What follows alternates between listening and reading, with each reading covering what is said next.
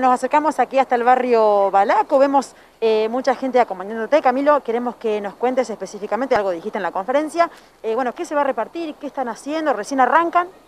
Bueno, desde ya agradecerles que nos acompañan. Está parte del equipo de gobierno municipal, parte del gabinete, trabajadores, asistentes sociales y un gran grupo de gente, también militantes y compañeros y compañeras que nos acompañan.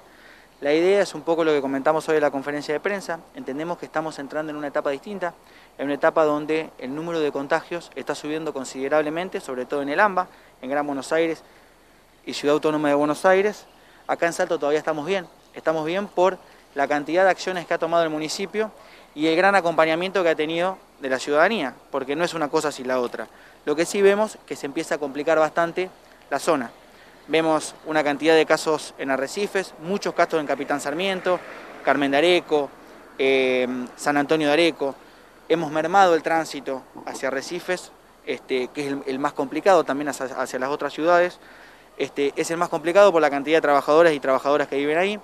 Son medidas preventivas que tomamos, esperamos eh, en la prontitud levantar el tránsito y que los trabajadores puedan, puedan entrar de vuelta no obstante, eso son medidas preventivas y la que vamos a tomar acá también es una medida preventiva.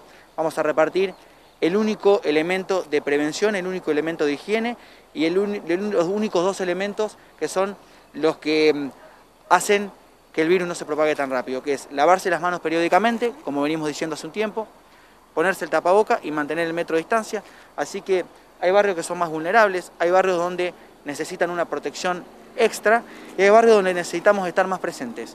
Este, vamos a tratar de caminarlos todos. Hoy vamos a empezar por Balaco, vamos a empezar por Triángulo, vamos a estar en Trocha, también en los CAPS los lunes cuando se hace la asistencia alimentaria y durante todos los días va a haber tapabocas para que, se puedan, para que puedan ir vecinos y vecinas y puedan, estar, eh, y puedan tener cada uno su tapabocas. Sabemos que hay un gran, gran acatamiento a la tapabocas, la, la verdad que la mayoría de vecinos y vecinas lo vienen usando, pero queremos reforzarlo. Queremos reforzarlo porque viene una etapa más difícil y, en esto también queremos ser muy claros, ninguno de nosotros, ninguno de los que está acá, ni el equipo sanitario, ni el intendente, puede frenar el virus. El virus avanza. Y si bien es un logro que no entren casos de coronavirus basalto, el logro principal y nuestro objetivo no es que no entren casos, sino que cuando entren lo podamos controlar. Y la única manera de controlar el virus y que la situación esté controlada en caso de que entre, que es posible que pase, como está pasando en otras ciudades, es eh, lavándonos las manos, usando el tapaboca y manteniendo el metro de distancia y respetándonos entre todos. Así que este, vamos a hacer un operativo, vamos a arrancar hoy y vamos a estar periódicamente todos los días trabajando en cada uno de nuestros barrios, que es eh, ni más ni menos que donde sentimos que tenemos que estar, al lado de la gente y, nuestra responsabilidad también. Así que nada más que eso. Por último, aproximadamente tienen más o menos ideas de cuántos, cuántas bolsitas digo de jabón y tapabocas se van a repartir, por lo menos en el día de hoy en Barrio Balaco, ¿cuántos habitantes hay en este barrio? Bueno, hoy vamos a arrancar con mil kits entre Barrio Balaco y, Barrio del Triángulo.